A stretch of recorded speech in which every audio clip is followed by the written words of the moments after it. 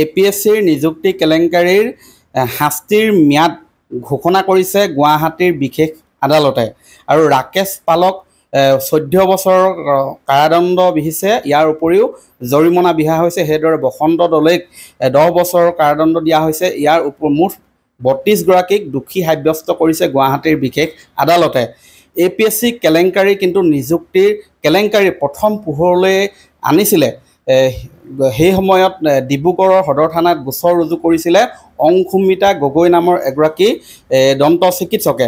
যিগৰাকীয়ে A P S চিত নিযুক্তি পৰীক্ষাত অৱতীৰ্ণ হৈছিলে কিন্তু তাৰ পিছত তেওঁৰ যি আচলতে প্ৰক্ৰিয়াৰে নিৰ্দিষ্ট প্ৰক্ৰিয়াৰে যাব লাগিছিলে সেই প্ৰক্ৰিয়াৰে গৈছিলে যদিও কিন্তু এইসকল আচলতে দুৰ্নীতিগ্ৰস্ত নিমজ্জিত ৰাকেশ পাল বাহিনীৰ বাবে তেওঁ সেই পৰীক্ষাত অৱতীৰ্ণ হ'ব পৰা নাছিলে আৰু যাৰ বাবে থানাত এজাহাৰ দিয়াৰ পিছত এই কেলেংকাৰী পোহৰলৈ আহিছিলে। পৰৱৰ্তী পৰ্যায়ত পুনৰ বহু নিযুক্তি কেলেংকাৰীত তেওঁলোকৰ তথ্য পোহৰলৈ আহে। এ ডিও নিযুক্তি কেলেংকাৰীৰ তথ্য পোহৰলৈ আহে আৰু তাৰপিছতে গোচৰ ৰুজু হৈছিলে আৰু গুৱাহাটীৰ বিশেষ আদালতে এই ৰাকেশ পাল বাহিনীক বৰ্তমান বাহিনীৰ বৰ্তমান শাস্তিৰ ম্যাদ ঘোষণা কৰিছে। মোৰ কাষত বৰ্তমান আছে অংশুমিতা গগৈ যিগৰাকীয়ে প্ৰথম এ পি এছ চিৰ ব্যাগুম কেলেংকাৰীৰ পোহৰলৈ আনিছিলে। সেইগৰাকী আছে মই তেওঁৰ পৰা ভাষ্য লওঁ।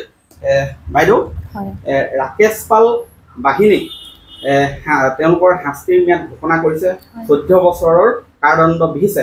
কি ক'ব এই সন্দৰ্ভত? ন্যায়ালয়ৰ এই সিদ্ধান্তক মই প্ৰথম কথা সন্মান জনাইছোঁ। আৰু তেওঁলোকে যি শাস্তি প্ৰদান কৰিছে সেই শাস্তি একচলতে তেওঁলোকে পাবৰ যোগ্য। আৰু এইটো আচলতে এটা মানে মই যিটো কেছ দিছিলোঁ সেই কেছটোৰ ৰায়দান নহয়। তাৰপিছত আৰু এটা কেছ হৈছিলে সেইটো কেছৰহে ৰায়দান। কিন্তু মোৰ কেছটো এতিয়াও মানে শেষ অৱস্থাত উপনীত হোৱা নাই। তাৰ ৰায়দানৰ বাবে মই ৰৈ আছোঁ।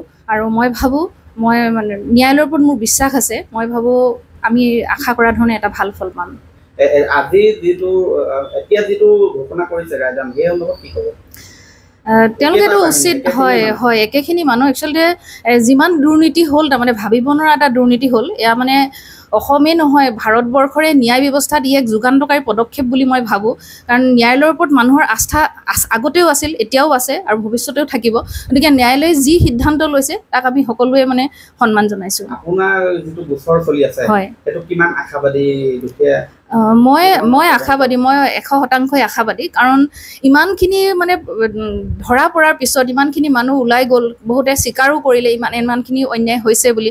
তাৰপিছতো যদি তাত এটা সুফল আমি নাপাওঁ মানে তেতিয়াহ'লে এনেকুৱা হ'ব মানে অকল যেন এই বস্তুটো যেন ঢাকিব বিচৰা হৈছে এনেকুৱা হ'ব। কিন্তু এতিয়াতো এই যিটো কেছ আজি ৰায়দান দিছে সেইটোতো মই দিয়া কেছটোৰ পিছত দিয়া এটা কেছ। গতিকে সেইটোত যেতিয়া প্ৰমাণিত হৈছে তেওঁলোকে চব তথ্য আছে সেইকাৰণেহে তেওঁলোক দোষী সাব্যস্ত হৈছে। আৰু ইমানখিনিৰ পিছত মই ভাবোঁ মই মই যিটো কেছ দিছিলোঁ সেই কেছটোত আমি হাণ্ড্ৰেড পাৰ্চেণ্ট আশা কৰিব পাৰোঁ।